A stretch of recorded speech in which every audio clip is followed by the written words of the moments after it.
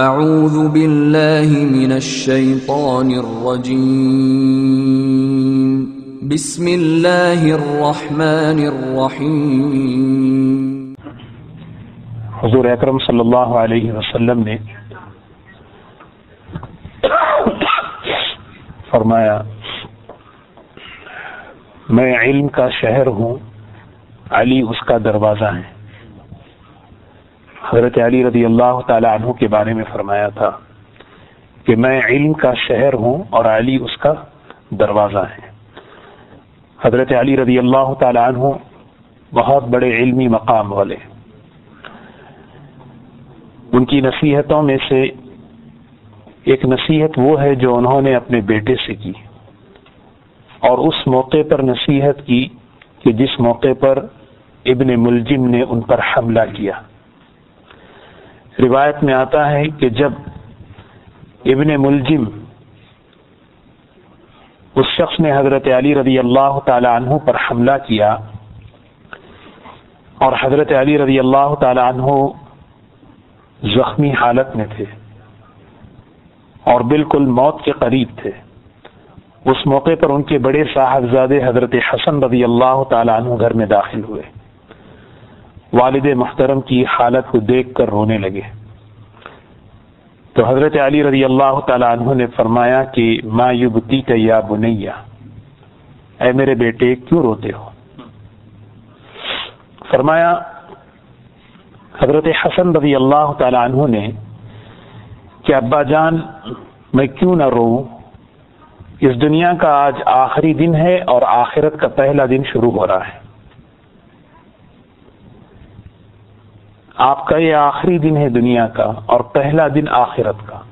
وان تفی اول یوم من الآخرہ آدمی جب دنیا سے رخصت ہوتا ہے، تو وہ سب سے پہلا دن ہوتا ہے اس کی آخرت کا۔ اور اس دن کی سلامتی کی دعا مانگنے کا حکم ہے۔ والسلام علیہ یوم ولدت و یوم اموت و یوم اباس حیا اللہ کی سلامتی ہو اس دن پر جس دن کے میں پیدا ہوا اور اللہ کی سلامتی ہو، اس دن پر جس دن کے میں دنیا سے جاؤں گا۔ کیونکہ وہ دنیا سے جو جانا ہے، وہ پہلا دن ہے آخرت کا۔ اور اللہ کی سلامتی اس دن کے لیے بھی جس دن میں حشر سے اٹھوں گا۔ تو حضرت حسن رضی اللہ تعالی عنہ نے فرمایا کہ، ابا جان، آج پہلا دن ہے آخرت کا اور آخری دن ہے دنیا کا۔ آپ ہم سے رخصت ہو رہے ہیں، اس لیے مجھے رونا آ رہا ہے۔ فرمایا، بیٹا، رونے کا وقت نہیں ہے۔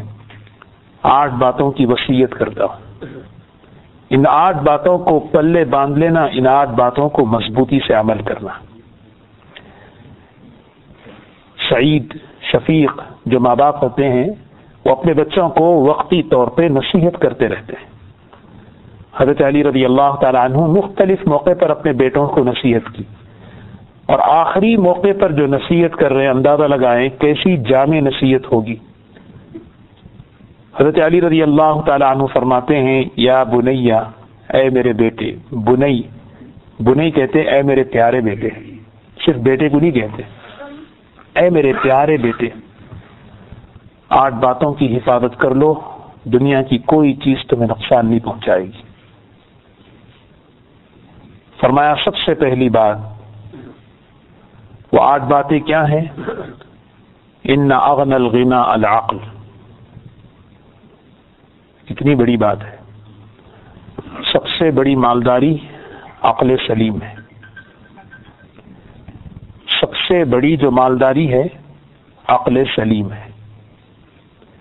کہ اللہ تبارک و تعالیٰ کسی کو عقل سلیم عطا فرمائے، یہ سب سے بڑی مالداری ہے۔ ان اغن الغنا العقل۔ اللہ سے عقل سلیم مانگنا ہے۔ کیونکہ عقل جب صحیح ہوتی ہے تو ہر چیز صحیح سوچی جاتی ہے۔ کیونکہ اس عزو کا، اس پارٹ کا کام ہی سوچنا ہے۔ ہر عقل صحیح نہیں سوچتی، بلکہ عقل سلیم صحیح سوچتی ہے۔ اس لیے ہمیں حکم دیا گیا کہ اپنی سوچ صحیح کرنے کے لیے عقل سلیم اللہ سے مانگو۔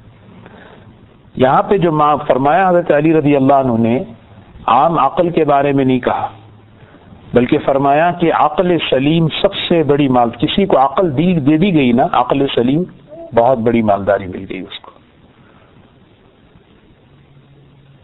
جیسے آنکھ کا کام دیکھنا، کان کا کام سننا، زبان کا کام چکھنا، ہاتھ کا کام پکڑنا، ہر عضو کا ایک کام ہے۔ عقل کا کام سوچنا۔ عقل جب بگڑتی ہے تو بگاڑ سوچتی ہے۔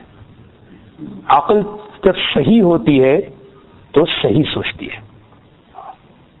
اس کا کام سوچنا ہے، یہ سوچے۔ اور یہاں تک سوچے، اللہ تبارک و تعالی نے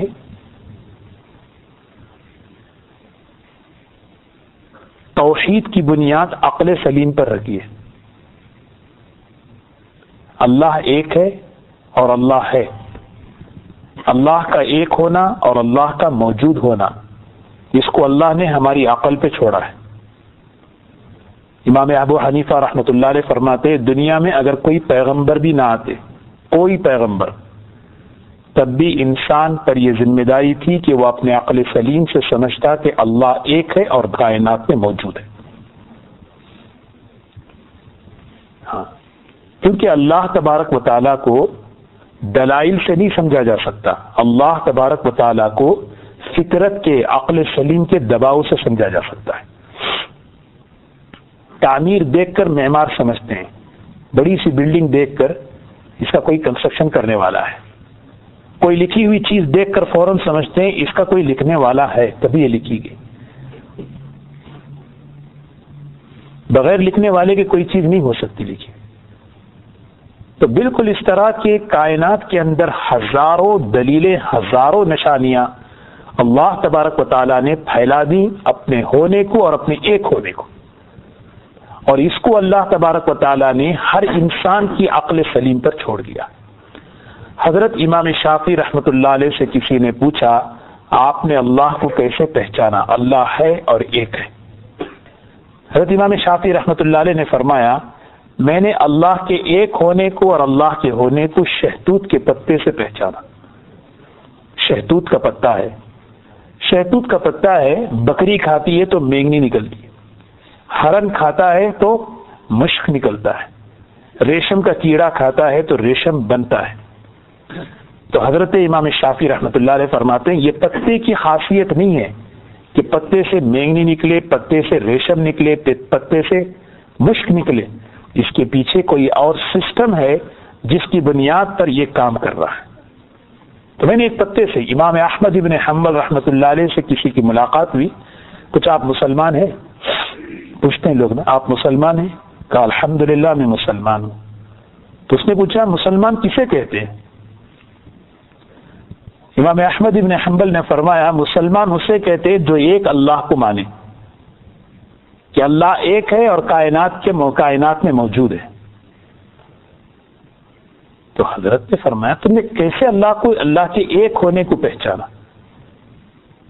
دیکھو، عقل سے سوال، یہ سوالات پوچھے جاتے ہیں۔ حتمام امام احمد بن حنبل رحمۃ اللہ علیہ نے فرمایا، میں نے اللہ کے ایک ہونے کو حضرت قرآن سے دلائل نہیں دے رہے تھے۔ کیونکہ قرآن کے دلائل اس آدمی کو کیا سمجھ میں آئیں گے جو اللہ کو نہ مانے؟ جو آدمی خدا کو ہی نہ مانے، وہ خدا کے کلام کو کہاں مانے گا؟ اور اللہ کے دلائل کو کہاں سے مانے گا؟ حضرت نے اس موقع پر قرآن پاک کے دلائل کو پیش کر لیا۔ حضرت نے کہا، میں نے ایک مثال سے سمجھا، اللہ ایک ہے اور کائنات کا، پوری کائنات کو چلانے والا ایک اللہ ہے۔ کہنے کیسے؟ کہا کہ ایک چاندی کا سفید چاندی کا ایک محل ہے۔ ایسا محل کے کوئی دروازہ، کوئی سوراخ، کوئی دریچہ اس میں نہیں۔ بند بالکل پیک محل۔ اور اس محل کے اندر ایک سونے کا سرخ، سونے کا ایک محل ہے۔ وہ بھی ایسا کہ بالکل پیک۔ نہ اس میں کوئی سوراخ، نہ کوئی اس میں روشن دان، نہ کوئی کھڑکی، نہ کوئی دروازہ۔ چاندی کا ایک محل، پھر اس کے اندر سونے کا ایک محل۔ تھوڑی دیر بعد میں نے دیکھا کہ ایک جاندار چیز اس سونے کے محل کے اندر سے نکلی اور پھر چاندی کے محل سے نکل کر باہر نکلی اور نکل کر وہ کام کی جو ایک عام جاندار کرتے ہیں۔ اچھا۔ تو پھر میں نے پہچانا کہ یہ سونے کا محل، چاندی کا محل، اس میں نہ کوئی اندر جانے کی کوئی چیز نہیں تھی۔ اندر سے باہر نکلنے کے لیے کوئی سسٹم نہیں تھا۔ اندر سے جاندار نکلنا یہ اس بات کی دلیل ہے کہ ہے اس کا کوئی بنانے والا۔ تو وہ آدمی پوچھنے لگا، یہ محل کہاں ہے؟ ذرا مجھے بتائے میں دیکھنا چاہتا ہوں۔ کہا تیرے گھر میں میرے گھر میں ہر ایک کے گھر میں کہاں کہاں ہے؟ تم نے دیکھا انڈا۔ امام احمد ابن حنبل نے فرمایا، انڈا دیکھیں۔ کیسا سفید ہوتا ہے، پھر اس کے اندر کی زردی پیلی کیسے ہوتی ہے؟ ہاں؟ اٹھارہ، انیس دن مرغی اس پہ بیٹھتی ہے، تو کیسے اس زردی کے اندر سے، پھر اس انڈے سے کیسے مرغی کا بچہ نکل کے وہ کام کرتا ہے جو انسان کا بچہ کئی دن کے بعد کرتا ہے؟ ابن الذي اعطى كل شيء خلقه ثم ابا۔ میرا رب وہ ہے جو ان مخلوقات کو رہبری کرتا ہے کہ پیدا ہونے کے بعد تمہیں کیا ضرورت ہے؟ مرغی کا بچہ پیدا ہوتی کیا کرتا ہے؟ دانا چھکنے لگتا ہے فوراً۔ اور وہی مرغی کی جو بول ہوتی، بولیاں ہوتی ہیں نا، وہی بولنے لگتا ہے۔ انسان کا بچہ تو بہت دیر کے بعد۔ تو امام احمد بن حنبل رحمۃ اللہ علیہ نے فرمایا، میں نے اللہ کو یہاں سے پہچانا۔ تو اللہ تبارک و تعالی ہے، ایک ہے، اور پوری کائنات کو چلانے والے ایک اللہ ہے اس کی بنیاد دلائل پہ نہیں ہے۔ اس کی بنیاد انسان کی فطرت سلیمہ اور اس کی عقل سلیمہ پہ رکھ دی گئی۔ خلیفہ مہدی کے زمانے میں ایک دہری آ کے کہنے لگا کہ یہ ساری باتیں جو تم کہتے ہو کہ اس کائنات کا بنانے والا ایک ہے، غیبی، غیب میں ہے، یہ سب بیکار ہے۔ بس یہ کائنات یوں ہی بنی ہے۔ لوگ ایسے ہی پیدا ہو رہے، ایسے ہی مر رہے ہیں۔ یہ ساری باتیں بیکار ہیں۔ وہ خلیفہ مہدی بڑا پریشان کی دربار میں آ کے اس نے یہ اسٹیٹمنٹ دے دیا۔ اور اسے چیلنج کیا کہ تم کتنے بھی بڑے سے بڑے امام کو لے آؤ، میں اس کے ساتھ مناظرہ کروں گا۔ جب تو خلیفہ مہدی نے اس موقع، اس وقت کے بہت بڑے امام تھے، امام ابو حنیفہ رحمۃ اللہ علیہ۔ ان کو کہلوا بھیجا کہ فوراً ہمارے دربار میں آئیں، ایک دہریا ہے جو اس طرح کا اعلان کر رہا ہے۔ تو امام ابو حنیفہ رحمۃ اللہ علیہ نے کہلوا بھیجا کہ چلو میں آ رہا ہوں۔ تو حضرت کو وقت اور بتا دیا گیا اس وقت میں بیٹھ کر سارے کے سارے لوگوں کے سامنے مناظرہ ہونے والا ہے۔ تو حضرت بڑی تاخیر سے خلیفے کے دربار میں پہنچے۔ بہت تاخیر سے۔ اس دوران وہ آدمی کہنے لگا، دیکھو، جو امام ہے وہ آئے نہیں، لگتا ہے ڈر گئے۔ بہت تاخیر کے بعد جب حضرت امام ابو حنیفہ پہنچے تو بادشاہ نے پوچھا کہ تاخیر کی کیا وجہ ہے؟ تو حضرت امام حنیفہ رحمۃ اللہ علیہ فرماتے ہیں، یہ بات میں آپ کو نہیں، سارے مجمع کے سامنے کہنا چاہتا ہوں۔ کیونکہ میں نے ایک عجیب بات دیکھی۔ وہ بات یہ ہے کہ جب میں نکلا گھر سے، تو میں یہاں تک پہنچنے کے لیے میرے اور آپ کے درمیان دریا پڑتا ہے۔ کوئی کشتی کوئی کشتی کا چلانے والا نظر نہیں آیا۔ میں کھڑے کھڑے سوچ ہی رہا تھا، تو ایک عجیب چیز دیکھا کہ ایک دریا میں سے ایک سمند ایک ایک درخت نکلا۔ ایک درخت وجود میں آیا۔ اس درخت کے ٹکڑے ہوئے اور اس کے تختے بنے، تختے جڑتے گئے، اس میں کیلیں ٹھکتی گئی اور کشتی کی شکل بن گئی اور وہ میری طرف آئی، میں اس میں بیٹھ گیا۔ دریا کا دریا کا پانی کا جو رخ تھا وہ بالکل اگینسٹ میں تھا آپ کے دربار کے، لیکن وہ کشتی بالکل چلتی گئی۔ یہاں تک کہ بالکل قریب ساحل کے کنارے کھڑی ہو گئی، میں اتر گیا۔ وہ دہریا کہنے لگا، اس آدمی سے میں بات بھی نہیں کرتا۔ یہ آدمی، یہ آپ ان کو امام کہہ رہے ہیں، یہ کیسی باتیں کر رہے ہیں؟ یہ تو نادان ہے۔ یہ بچہ ہے، یہ امام ان سے میں بات بھی نہیں کروں گا۔ تو امام ابو حنیفہ رحمۃ اللہ علیہ فرماتے ہیں، کیوں بات نہیں کرنا چاہتے؟ کہنے کہ درخت کے ٹکڑے اور اس میں تختے بنتے جائیں اور اس کی لکڑیاں جڑتے چلے جائیں، کیلیں خود بخود ٹھکتی چلی جائیں، یہ کیسے ہو سکتا ہے؟ اور خود بخود کشتی چلنے لگے۔ امام ابو حنیفہ رحمۃ اللہ علیہ نے فرمایا، ایک چھوٹی سی کشتی جس کے تختے خود نہیں جڑ سکتے جس کے تختوں کو جوڑنے کے لیے خود کیلیں ٹھک نہیں سکتی اور کشتی بغیر چلانے والے کے چل نہیں سکتی۔ آسمان، زمین، چاند اور ستارے، یہ ہواؤں کا نظام، بادلوں کا نظام، کسی چلانے والے کے بغیر چل سکتا ہے۔ اللہ تبارک و تعالیٰ نے انسان کی عقل پر اس چیز کو چھوڑ دیا ہے دوستوں عقل سلیم ہر بچہ دنیا میں لے کے پیدا ہوتا ہے۔ اس عقل سلیم میں یہ صلاحیت اللہ نے رکھی ہے کہ وہ ایک اللہ کو پہچانے اور اللہ کے وجود کو پہچانے کہ اللہ کائنات میں موجود ہے۔ اسی لیے بڑے آسان دلائل دیے وفی انفسکم افلا تبصرون۔ اپنے اندر دیکھو، اللہ کے ایک ہونے کو پاؤ گے۔ ایک، پورا جسم جو ہے نا، سر سے لے کر پیر تک قائم ہے۔ کس بنیاد پہ؟ روح کی بنیاد پہ۔ ہے نا؟ روح اگر جسم سے نکل جائے تو کیا ہو جائے گا؟ بس ختم۔ روح کہاں ہے؟ اس کی کوئی شکل ہے؟ اس کا کوئی رنگ ہے؟ اس کی کوئی جہت ہے؟ لیکن ہے، ایک روح ہے۔ آنکھ بھی دیکھ رہی ہے، کان بھی سن رہے ہیں، ہاتھ اور پیر حرکت کر رہے ہیں۔ ایک روح ہے، لیکن وہ اس کا کوئی جسم نہیں، وہ نظر نہیں آتی، لیکن پورے لوگ مانتے اور آدمی مرتے کہتے روح نکل گئی۔ اللہ تبارک و تعالیٰ سمجھا رہے ہیں، تمہارے اندر میری نشانی ہے، دیکھو۔ تم مانتے ہو روح ہے، ایک ہے، اس کا کوئی جسم نہیں، اس کا کوئی رنگ نہیں۔ اسی طرح کائنات کے اندر ایک اللہ کی ذات ہے، اس کا کوئی جسم نہیں، اس کا کوئی رنگ نہیں، اس کی کوئی شکل نہیں۔ لیکن ہے، ایک روح تمہارے پورے عالم اصغر کو چلا رہی ہے، تو ایک اللہ کے عالم اکبر کائنات کو نہیں چلا سکتا۔ یہ عقل سلیم اللہ تبارک و تعالیٰ نے جو عطا فرمائی ہے، اس میں یہ سوچ، یہ سمجھ، یہ استعداد رکھی ہے کہ انسان سوچے۔ لیکن جب یہ صحیح رخ پر چلتی ہے، تو پھر یہ خیر وجود میں لاتی ہے۔ اور یہ جب اس کا بگاڑ، یہ جب بگڑتی ہے، تو اس سے فساد۔ اسی لیے دیکھیے عقل اللہ کی بڑی نعمتوں میں سے ایک نعمت ہے۔ اگر عقل نہ ہو، تو لوگ کیا کہیں گے؟ پاگل کہیں گے، مجنون کہیں گے۔ حتیٰ کہ شریعت کے جتنے احکامات ہیں، عقل والے پر ہیں، پاگل پہ نہیں ہے آپ کوئی بھی فقہ کی کتاب اٹھائے نماز فرض ہے اس شخص پر، جو مسلمان ہو، عقل مند ہو بالے ہو۔ کنڈی ہے روزہ اس شخص پہ فرض ہے جو مسلمان ہو، عقل مند ہو، بالغ ہو۔ حج اس پہ فرض ہے جو مسلمان ہو، عقل مند ہو، بالغ ہو، صاحب استطاعت ہو۔ عقل مند۔ تو شریعت کے جتنے احکامات ہیں، وہ سارے احکامات عقل والے پر ہیں بیوقوف پہ نہیں ہیں۔ مجنون، وہ تو سیدھا جنت میں جائے گا۔ ہاں مجنون کوئی حکم اس پہ مکلف ہے ہی نہیں۔ اسی لیے حدیث میں آتا ہے، جتنے پاگل ہیں، سب سے پہلے جنت میں جائیں گے وہ۔ اسی لیے ان کو چھیڑنا نہیں کبھی۔ ان کا مذاق نہیں اڑانا ہے۔ ہاں کیونکہ وہ بھولے بندے ہیں۔ ان پہ کوئی حکم مکلف نہیں ہے۔ وہ سیدھے کے سیدھے بغیر حساب کتاب کی جنت میں جائیں گے۔ ہاں۔ لیکن جو جو عقل بگڑتی ہے نا، جس عقل کی بنیاد پر آدمی شر پھیلاتا ہے، جہنم میں جن کو اللہ تعالیٰ ڈالیں گے، وہ جہنم میں جانے کے بعد کیا کہیں گے؟ بیوقوفوں کو نہیں ڈالیں گے، بڑے بڑے عقل والوں کو ڈالیں گے۔ وہ کہیں گے، لو کنہ نسما او نعقل ما کنہ فی اصحاب السعیر۔ اگر ہم سنتے اور عقل سے کام لیتے، آج ہم جہنم میں نہ ہوتے۔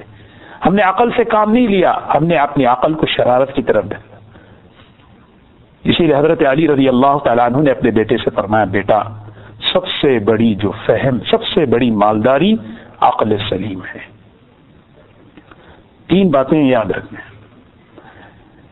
ایک ہے فہم کا ٹیڑھا ہو جانا، جس کو کہتے ہیں کج فہمی۔ فہم سمجھتے فہم کے معنی ہے انڈرسٹینڈنگ ایک ہے فہم کا ٹیڑھا ہو جانا۔ ایک ہے فہم کا کم ہونا اور ایک ہے فہم کا مس انڈرسٹینڈنگ غلط فہمی۔ اور ایک ہے صحیح فہم کا ہونا، چار باتیں۔ یہ چار باتیں ہیں، بڑی اہم ہیں۔ سب سے پہلی بات، کج فہمی۔ کج فہمی کہتے ہیں، فہم ٹیڑھی ہو گئی۔ ایک ابا، ایک باپ اپنے بیٹے کو بلا کے کہتا بیٹا، اس سے نہ ملنا۔ اس سے نہ ملنا۔ اب بیٹا کیا سوچتا ہے؟ ابا کو کوئی سمجھ ہی نہیں ہے۔ کیوں؟ یہ کچھ فہمی ہے۔ جو بولو الٹا لے گا۔ بعض لوگوں کا مزاج ہوتا ہے۔ جو بولتے ہیں، سیدھا مانا نہیں لیتے، بلکہ اس کا الٹا لیتے ہیں۔ ہاں۔ جو بولا، اس کا الٹا۔ اس کو کہتے ہیں فہم ٹیڑھی ہو گئی۔ مشرقی نے مکہ سے کہا گیا، مردار مت کھاؤ۔ مشرقی نے مکہ سے کہا گیا، مردار جو ہے نا، مت کھاؤ، حرمت علیکم المیتا مردے کو اللہ نے حرام کیا، مردار چیز کو۔ مشرقین دیکھیں نا، ان کے پیڑا، پیڑی سوچ دیکھیں، کہنے لگے، تم اپنے ہاتھوں سے مارو، وہ کھا سکتے ہیں۔ اللہ فطری موت مارے تو وہ نہیں کھا سکتے۔ اس کو کہتے ہیں ٹیڑا فہم سمجھ رہے نا؟ تم اپنے ہاتھوں سے مارتے ہیں گلا گلے پہ چھری پھیرے۔ وہ کھا سکتے ہیں۔ لیکن اللہ انہیں موت دے، وہ نہیں کھا سکتے۔ سمجھ مشرقین مکہ سے کہا گیا، جب قرآن پاک کی آیت اتری کہ اللہ کے بندوں بندوں میں جو غریب ہیں، انہیں صدقہ دو، انہیں کھلاؤ، پلاؤ، ان کی ضرورت پوری کرو۔ تو مشرقین کیا کہنے لگے؟ اللہ جن کو بھوکا رکھنا چاہتے ہیں، ہم انہیں کیوں کھلائیں؟ ہاں یہ قرآن میں ہے۔ یہ ہے جب فہم ٹیڑھی ہوتی ہے نا پھر آدمی کی سوچ اس طرح بدلتی ہے۔ اس لیے ہمیشہ کج فہمی اللہ کے عذابوں میں سے ایک عذاب ہے۔ ہاں۔ ربنا لا تزغ قلوبنا بعد اذ هديتنا۔ اے اللہ ہمارے دلوں کو ٹیڑھا نہ فرمائیے ہدایت کے ملنے کے بعد۔ یہ ہے اصل۔ وہ حب لنا من لدن کا رحمہ اپنی رحمت سے اپنی رحمت سے ہمارے دلوں کو ہماری عقل کو فہم کو صحیح فرمائیے۔ کیونکہ جب فہم صحیح ہوتی ہے تو ہر چیز صحیح سوچتا ہے۔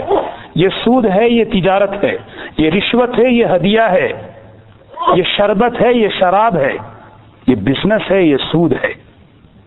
جب فہم ٹیڑھی ہوتی ہے نا، نہیں، یہ دین جو ہے نا امریکہ میں نہیں چل سکتا۔ نہیں، یہ جو ہے نا، یہ انڈیا پاکستان میں چلے گا یہ قرآن جو ہے نا امریکہ کے لیے نہیں ہے۔ حضور صلی اللہ علیہ وسلم امریکہ کے لیے نبی نہیں۔ اللہ نے جب قرآن اتارا تو کیا اللہ کا علم اس وقت کے حالات سے بے خبر تھا؟ وہ تھی تو علم الاولین والآخرین۔ اللہ کے نبی کھڑے ہو کے کہہ رہے پچھلوں کو جتنا علم دیا گیا اور قیامت تک کے لوگوں کو جتنا علم دیا جانے والا ہے، سب مجھے اس علم کی روشنی میں آپ نے ایک شریعت بنائی۔ اب ایک آدمی کھڑے ہو کے کہے کہ نہیں یہ یہ یہ امریکہ میں نہیں چل سکتا یہ امپاسبل ہے۔ یہ وہاں وہاں چلے گا۔ کیا مطلب ہے؟ یہ فہم ٹیڑھی ہو گئی سمجھ رہے میری بات؟ میں بالکل آسان انداز میں بتا رہا ہوں۔ فہم ٹیڑھی ہونا اس کو کہتے ہیں۔ نہیں، یہ یہاں نہیں چل سکتا ہے۔ نہیں، یہ اب نہیں۔ یہ اس زمانے میں نہیں چل سکتا۔ کیوں نہیں چل سکتا؟ کہ جب قرآن اتر رہا تھا تو کیا اللہ کو علم نہیں تھا کہ ٹو تھاؤزینڈ الیون میں، ٹویلو میں یہ حالات ہوں گے۔ اللہ کے رسول صلی اللہ علیہ وسلم جب شریعت بتا رہے تھے، آپ کے اقوال اور آپ کے اعمال سیرت بن رہی تھی، اس وقت حسنا ہو رہے تھے۔ اس موقع پر کیا آپ کو پتا نہیں تھا؟ آپ جو ہے صرف اس اس چیز کو سامنے رکھ کے کہنے لگے۔ کیسا جملہ؟ یہ جو جملہ زبان سے جو نکلتا ہے نا، یہ چیز یہاں نہیں چل سکتی۔ یہ اصل میں کیا ہے؟ کچھ فہمی ہے۔ کم فہمی نہیں ہے۔ کم فہمی بڑی معافی کی چیز ہے۔ فہم کا کم ہونا یہ اس کی امید ہے کہ وہ اپنا فہم درست کر سکتا ہے۔ ایک آدمی کو فہم کم ہے، علم حاصل کر لے، معلومات حاصل کر لے۔ ایک آدمی کی فہم ہی بگڑ گئی۔ ہاں اس کی، اس کا سوچ ہی بدل گیا۔ اب کیا کر رہا ہے؟ اب نہیں۔ میں بتا نا، حضور اکرم صلی اللہ علیہ وسلم نے پیشن گوئی دی، ایک زمانہ آئے گا، لوگ شراب کو شربت بول کے پئیں گے۔ ہاں لوگ جو ہے، بزنس کہہ کر سود سود سود، سوری کاروبار کریں گے۔ لوگ ہدیہ کہہ کر رشوت لیں گے۔ رشوت ہوگی، لیکن نام کیا ہوگا؟ ہدیہ ہوگا۔ یہ ٹیڑھا پن ہے گج فہمی یہ عقل کی سلامتی کی بات نہیں ہے۔ نا یہ عقلی سلامتی کی بات نہیں۔ اسی لیے دوستو، ایک ہے علمی، عملی عملی کوتا ہی آدمی عمل میں کوتا ہی کر لے۔ لیکن ان چیزوں میں کمپرومائز نہیں کرے۔ سمجھ رہے عمل میں کوتا ہی کر لے۔ ہاں کیونکہ توبہ کا دروازہ کھلا ہوا ہے۔ جب ان چیزوں میں کمپرومائز کرتا ہے نا، توبہ بھی نہیں کرے گا وہ موت تک۔ ہاں، اس کو کہتے ہیں علمی گمراہی۔ اس کو کہتے ہیں عقیدے کی گمراہی۔ اور یہ علمی گمراہی بہت بڑی چیز ہے۔ عملی گمراہی ٹھیک ہے، آدمی کر رہا ہے ہاں بھائی، کر رہا ہوں میں۔ رانگ غلط ہے یہ چیز۔ ہاں میں غلط کر رہا ہوں وہ ایک دن اللہ اسے توفیق دیں گے۔ اس کا اندر سے ضمیر اسے بیدار کرے گا، جگائے گا، جھنجھوڑے گا۔ لیکن ایک آدمی کہے کہ نہیں۔ تم جو ہے نا ابھی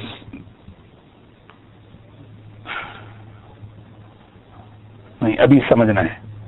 ابھی آپ اس لیول پہ نہیں آئے۔ آدمی سمجھے ہاں۔ یہ ہے ربنا لا تزغ قلوبنا، فلما زاغوا ازاغ اللہ قلوبهم جب ان کی سوچ ٹیڑھی ہوئی، اللہ نے ان کے دلوں کو ٹیڑھا کر دیا۔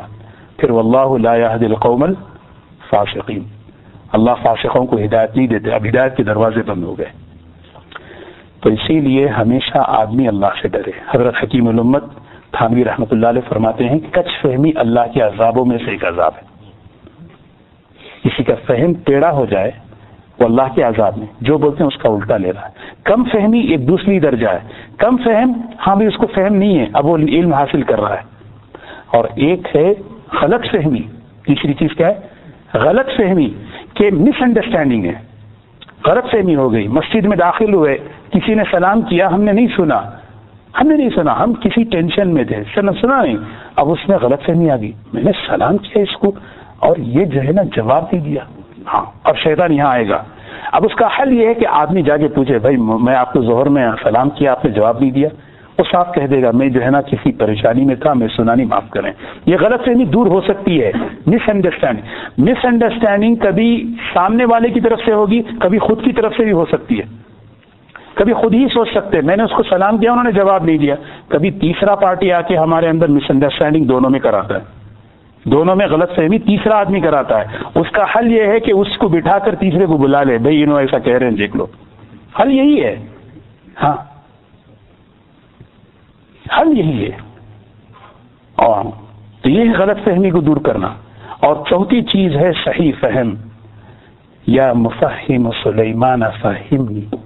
اے سلیمان کو فہم دینے والی ذات صحیح فہم دے دے۔ یہ جملہ اللہ سے مانگے۔ یا مفہم سلیمان فہمنی اے ففہمنا سلیمان۔ ہم نے سلیمان کو فہم دی۔ اللہ کہہ رہے ہاں۔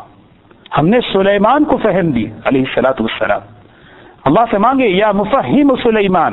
اے، سلیمان کو فہم دینے والی ذات فہم مجھے دین کی صحیح سمجھ دے۔ دین کی صحیح سمجھ کب آئے گی؟ عقل سب۔ جس، جب جب ہماری عقل میں اللہ کا خوف آتا ہے جب ہم ہمارے دل میں اللہ کا ڈر پیدا ہوتا ہے، اللہ تبارک و تعالی ہماری سمجھ میں برکت ڈالتے ہیں۔ ہماری سمجھ میں برکت ڈالتے ہیں۔ اس کو کہتے ہیں صحیح سمجھ۔ اس کو کہتے ہیں صحیح سمجھ۔ پھر اس سمجھ سے آدمی وہ سمجھتا ہے جو بازو بیٹھنے والا سمجھتا نہیں۔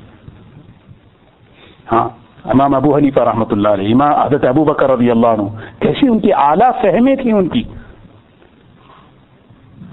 اعلیٰ فہمیں۔ حضور اکرم صلی اللہ علیہ وسلم سب سے زیادہ عقل مند کون ہے؟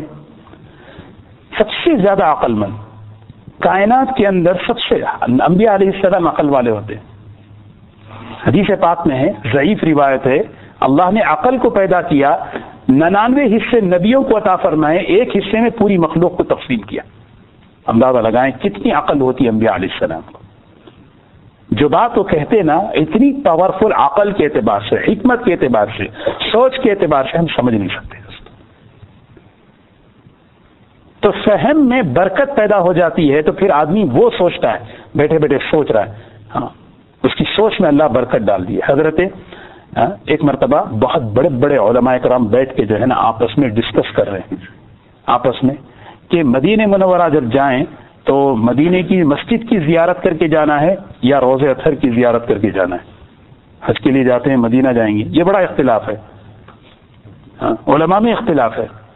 بعض کہتے ہیں کہ مسجد نبوی کی زیارت کریں بعض کہتے ہیں دونوں کی زیارت کریں، دونوں کی زیارت کی نیت کر کے جائیں۔ یہ علماء میں اختلاف۔ کچھ علماء، بڑے بڑے علماء کرام بیٹھے آپس میں اس پر بحث کر رہے تو ایک بہت بڑے اللہ والے تھے۔ کون کون علماء بیٹھے تھے؟ عاصم العلوم، حضرت مولانا قاسم نانوی رحمۃ اللہ علیہ، مولانا رشید احمد محی رحمۃ اللہ علیہ، بڑے بڑے علماء۔ حت حاجی امداد اللہ مہاجر مکی رحمۃ اللہ علیہ بھی بیٹھے ہوئے ہیں۔ وہ عالم تو نہیں تھے، لیکن ان کے سب کے جو ہے نا شیخ تھے وہ۔ تو حضرت خاموش تھے، بھائی علماء کی ڈسکس کی باتیں میں کیا بولوں؟ خاموش سن رہے ہیں۔ تو کسی نے کہا، حضرت آپ بھی تو کچھ بولیں۔ اچھا کہنے لگے کہ ٹھیک ہے، اگر آپ بولنے کے لیے کہہ رہے ہیں تو میں کچھ بولوں گا۔ اب حضرت کی فہم دیکھیں۔ فرمایا،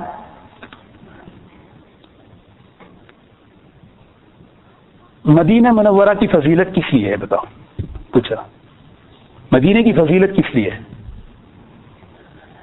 مدینے کی فضیلت اس لیے ہے کہ وہ اللہ کے رسول صلی اللہ علیہ وسلم آرام فرما رہے ہیں۔ پوری کائنات کے اندر سب سے بہترین جگہ کون سی ہے؟ عرش سے زیادہ افضل جگہ وہ جگہ ہے جہاں اللہ کے رسول صلی اللہ علیہ وسلم کا جسد اطہر جس زمین کے حصے پہ لگا ہوا ہے۔ عرش سے بھی زیادہ افضل ہے۔ فرمایا جو سب سے افضل ہے اس کی نیت نہ کرے، اس کے علاوہ کی نیت کرے، یہ کیسے؟ حضرت کی سوچ اور فہم۔ تو اس لیے دوستو، اللہ تبارک و تعالیٰ سے فہم مانگنا، ربی زدنی علم شیخ الہند محمود حسن رحمۃ اللہ علیہ کا ترجمہ اٹھا کے دیکھیں اے اللہ، زیادہ فرمائیے، میرے علم کا نہیں ہے وہاں پہ، وہاں میری فہم کا ذکر ہے۔ ربی زدنی علم اے فہما۔ اے اللہ، میری فہم میں بڑا ترقی دے، برکت دے۔ تو حضرت علی حضرت علی رضی اللہ نے اپنے بیٹے کو سب سے پہلی نصیحت کی فرمایا، دیکھو، سب سے بڑی مالداری عقل سلیم ہے۔ اپنی سمجھ کو، اپنی فہم کو درست کرنا، صحیح رکھنا۔ دین کی برکت سے فہم درست ہوتی ہے۔ ہاں کبھی فہم میں ٹیڑھا پن نہ ہو۔ جب ٹیڑھا پن فہم میں ٹیڑھا پن آتا ہے، پھر آدمی جو ہے نا بدلتا رہتا ہے، بدلتا رہتا ہے۔ یہاں تک کہ عمل بدلا تو عقیدے بھی بدلے، علمی علم بھی بدلتا ہے۔ اور پھر فرمایا وہ اکبر الفقر الحمق سب سے بڑی تنگستی سب سے بڑی کنگا، سب سے بڑا کنگال پن بے وقوفی ہے۔ ہاں۔ اور فرمایا، سب سے بڑی وحشت کی جو چیز ہے، عجب ہے۔ عجب کے معنی ہے اپنے کو بڑا سمجھنا۔ اگر ہم دوستوں میں اپنے کو اگر بڑا سمجھیں، دوست چھوڑ دیں گے۔ یہ سب سے بڑی تنہائی ہے۔ آدمی اگر تنہا رہنا چاہتا ہے، تو دوستوں میں رہ کے اپنے کو بڑا سمجھنا شروع کر دے۔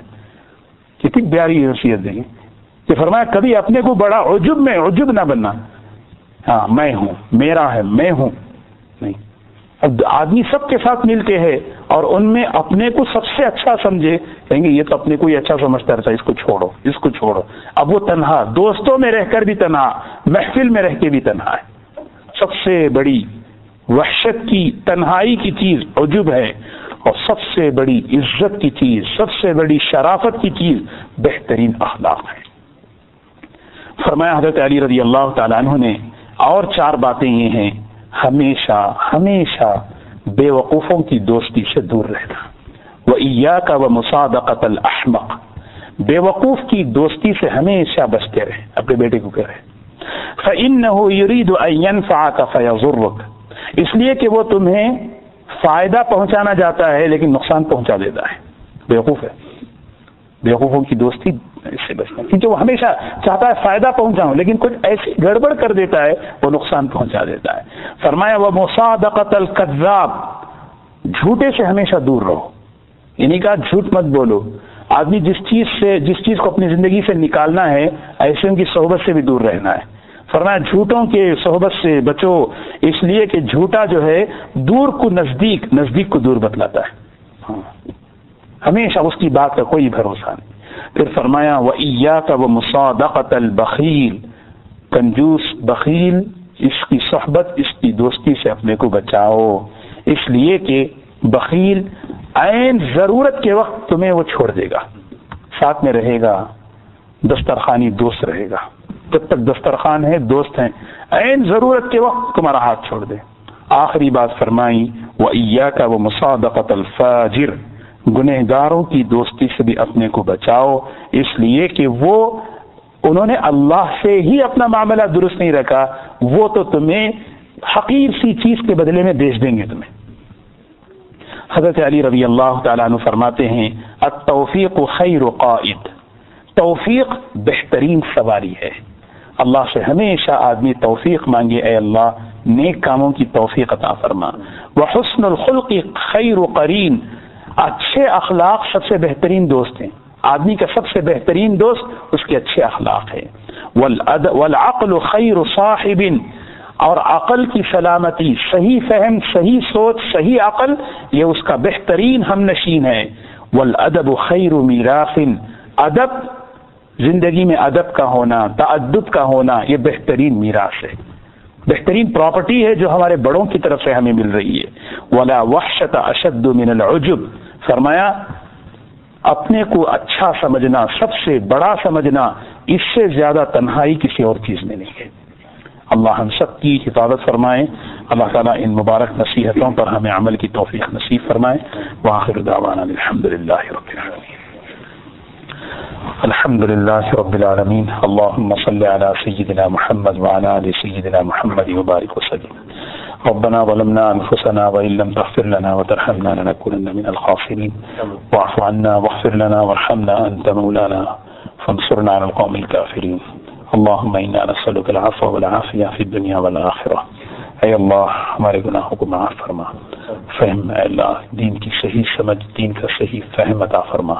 قرآن پاک کا فہم عطا فرما حدیث پاک کا فہم عطا فرما.